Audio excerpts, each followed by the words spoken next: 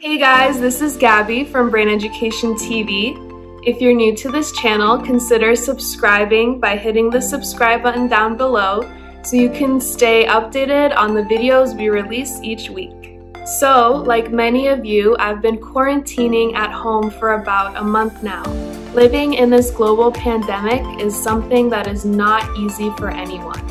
It's easy to feel stressed, depressed, and anxious about all the uncertainty going on in the world.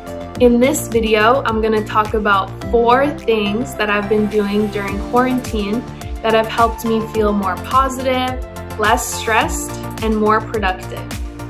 Tip number one, stay active. Exercising has so many benefits for your physical and mental health. When you move your body, you get your blood pumping, you decrease the levels of cortisol, which are your stress hormones, and you increase your feel-good hormones, which are dopamine and serotonin. A quick and easy way to stay active is to do one minute exercises. I'll link a video below that I did before explaining them a bit more, but basically you do one minute of exercise every single hour that you're awake. So what I do is I set a reminder on my phone every hour or I use this app called One Minute Change that reminds you to move your body every hour.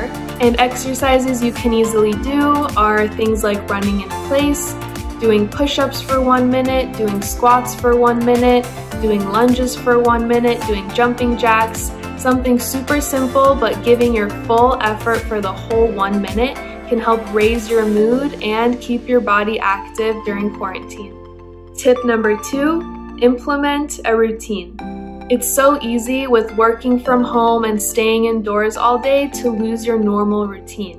I know most people, including me, have gotten lazy and really just wanted to spend all day in bed. So a good way to stay mentally alert and sharp is to create a routine to help you have a regimen for your day. You can start small, you don't have to create an entire day's routine, but setting small goals like waking up at 9 a.m. every morning or eating at the same time each day can really help you feel more productive during quarantine and feel like you're using your time wisely. Tip three, take a break from screens and get some fresh air.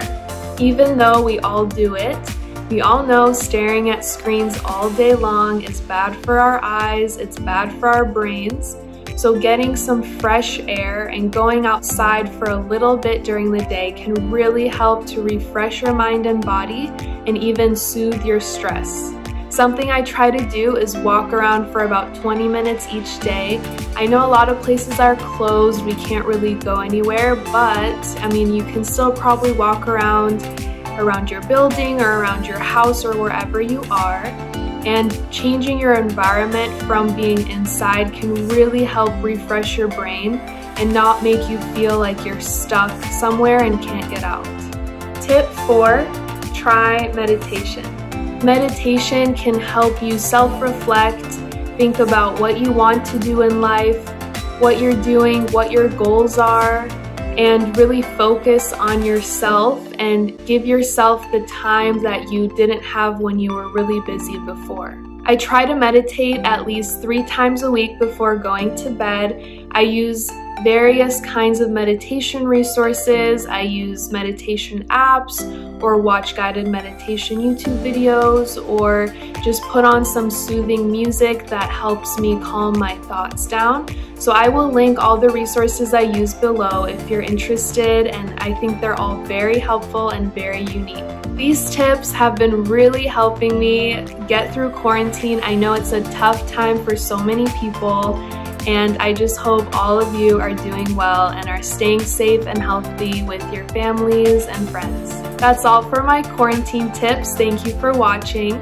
If you tried any of these, leave a comment below. Any questions, concerns, comments, we'll answer all of them. See you next time.